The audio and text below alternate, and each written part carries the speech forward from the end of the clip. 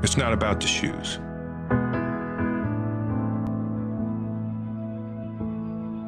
It's about knowing where you're going, not forgetting where you started.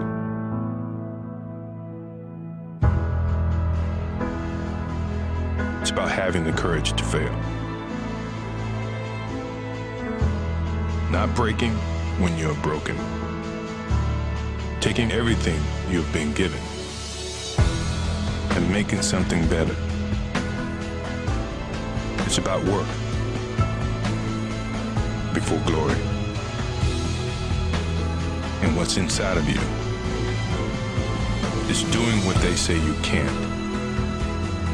It's not about the shoes. It's about what you do in them.